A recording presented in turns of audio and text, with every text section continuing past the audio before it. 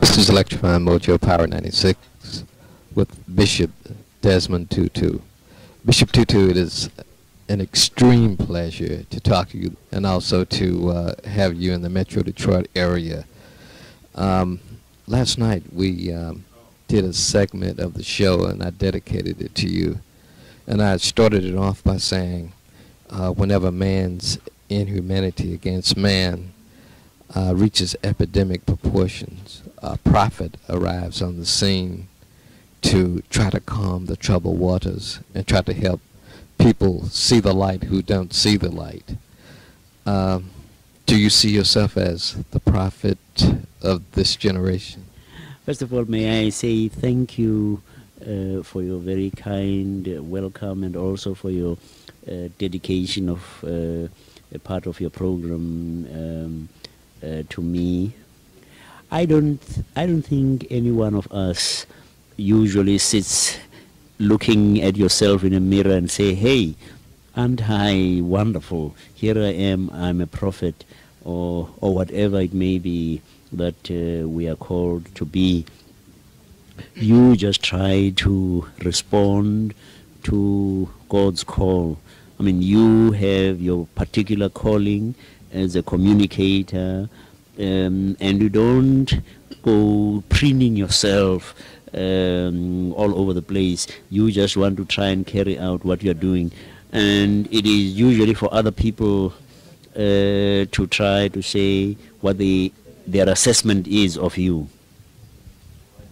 Uh, Bishop Tutu, let's let's project ourselves into the future.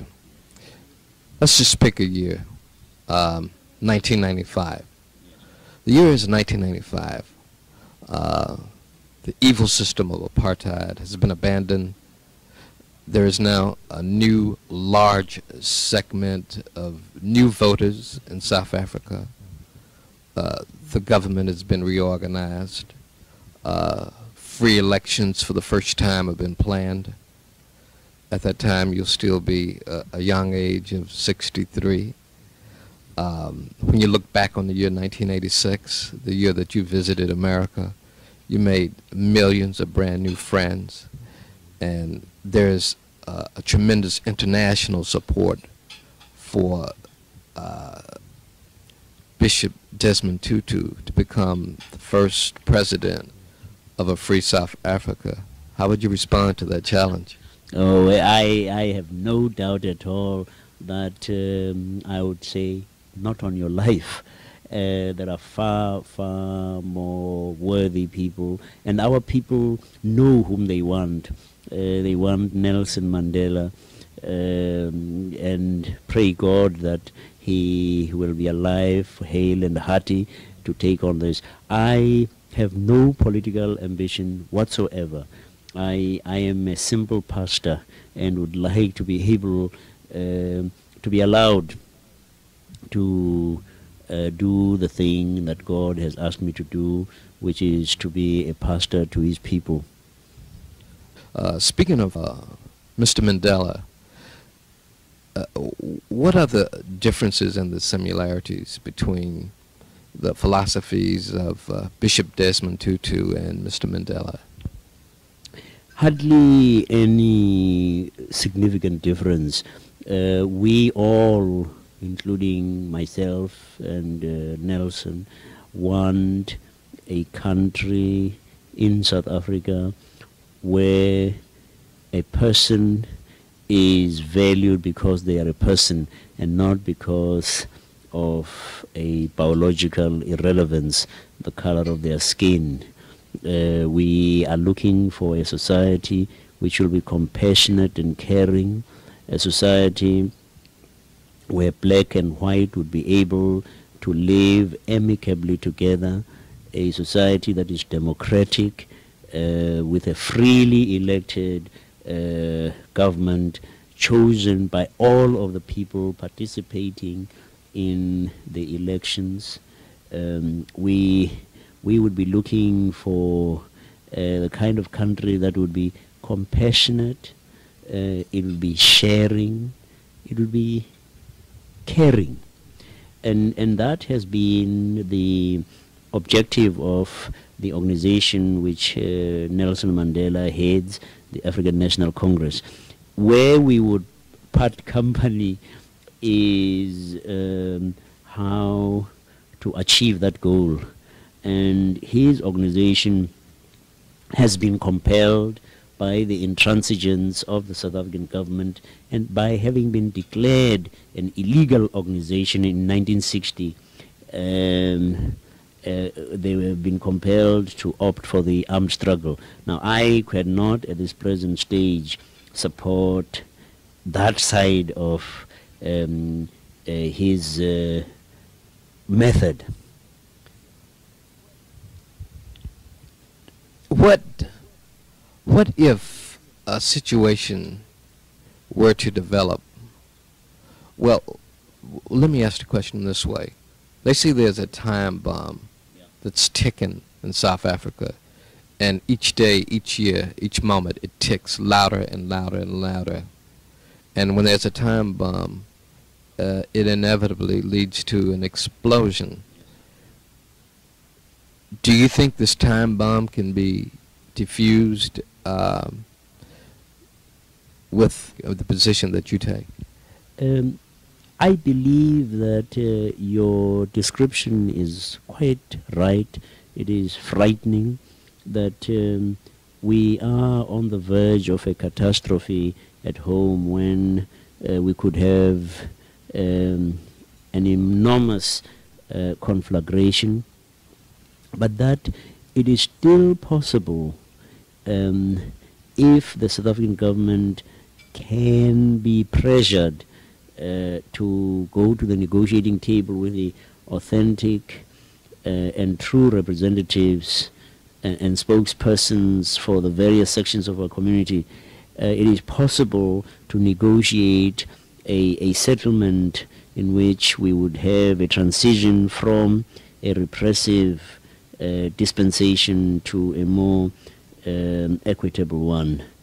But if the international community does not assist us, especially if um, America does not assist us, uh, then it is likely that the time bomb will explode.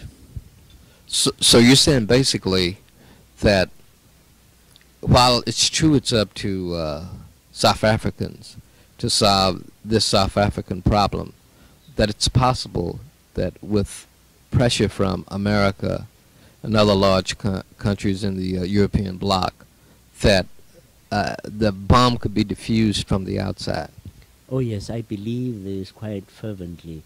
Um, and I think the United States does know that it has a pivotal role uh, to play in determining whether we are going to have a reasonably peaceful resolution of the crisis of our country uh, or the opposite, uh, what a former prime minister in South Africa called the alternative too ghastly to contemplate.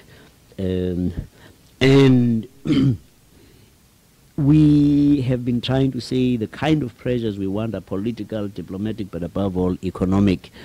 Uh, and the people of this country, the great people of this country, have through making a moral choice against apartheid forced the hand of the of the president because he has uh, been compelled to apply uh, sanctions against South Africa against his will.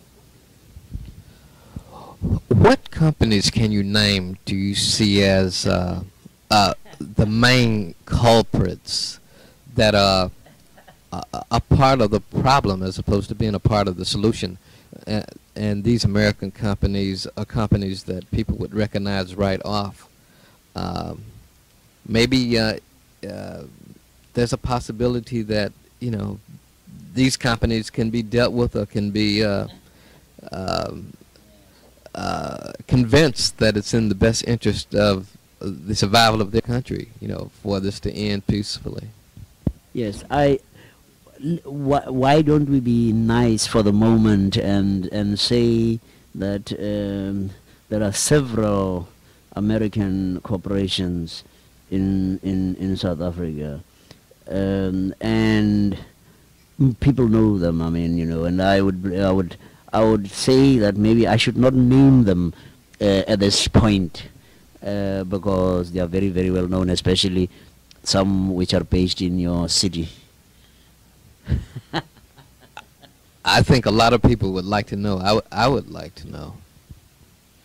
Um, without uh, uh, saying where one's, one is in regard to these companies, you have General Motors, you've got Ford, uh, you've got IBM, um, you've got Coca-Cola, you have uh, um, various of your banks, Citibank and, and, and, and, and things of that kind. Why I wouldn't have wanted to name them is that I would be I would be forced to name some and not others because I, I don't have a comprehensive list and and that is why I um, I was uh, reluctant to say which particular companies. There are there are more I think there are about 300 companies in fact uh, American companies. Uh, a- after you return uh, home, is it possible that I could keep get in touch with you and get a, a comprehensive list? Yes, in fact, you will you'll be able to get one uh, from various groups in this country that are uh, um, concerned about the situation. I mean, Randall Robinson's Trans Africa in in Washington D.C. would be able to provide you with such a list. Uh, the, the, Washington, the Washington office on Africa would be able to do that as well. But I mean, let, us keep in touch. I, I would be very glad to keep in touch with you, yes. What does apartheid do to an individual? I think it can help to fill you with a lot of bitterness and anger and frustration because you are treated as if you were not a human being. And I suppose that you in this country have had a little bit of that kind of experience in the um, your Jim Crow days, especially in the South, where you were a non-person really, uh, a non-entity.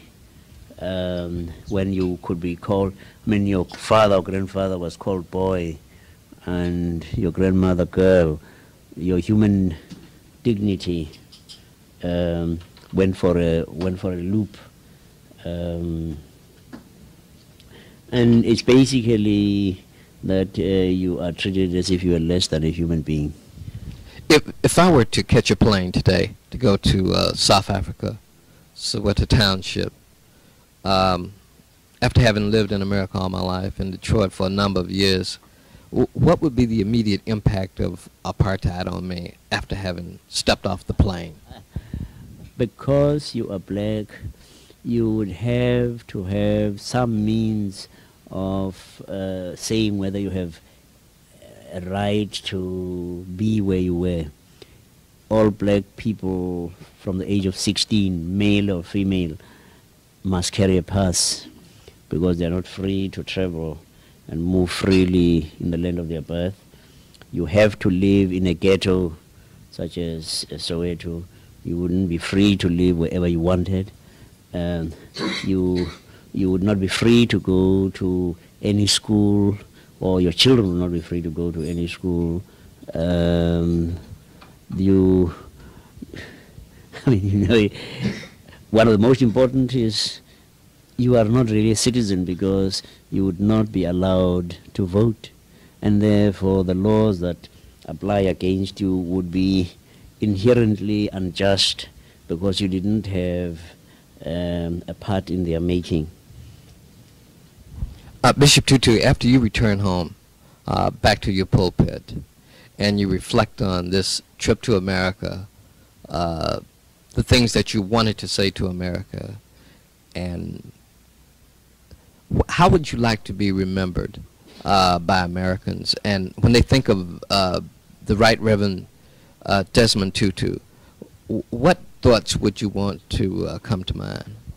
I would hope that they would remember that uh, our people are enormously grateful for what Americans are doing or have done, that our struggle is a just struggle, and that Americans would be ready to be associated uh, with us, to be identified with us in our struggle, that uh, remembering their own history, especially black people in the civil rights movement, uh, they would be they would want to be our allies, um, and would uh, I hope that they would remember that we came to this country primarily uh, to get Americans, wonderful people, uh, to pressure their government and the private sector to take action that will end apartheid.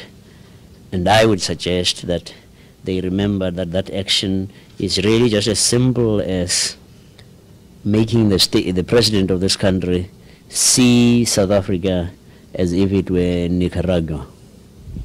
Uh, I started the interview off by saying a prophet always arrives on the scene. And I want to end it by saying that the prophet is now in Detroit. He is the Right Reverend Desmond Tutu. It's a pleasure to have you talk to Power 96 and Electrifying Mojo. I will definitely keep in touch with you, and I wish you the best. Thank you very, very much, and God bless you all for 1986, and have a great time. Thank you very much.